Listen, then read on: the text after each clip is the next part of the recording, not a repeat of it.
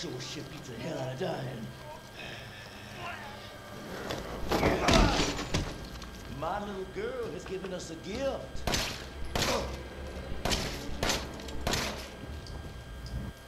As you can see, the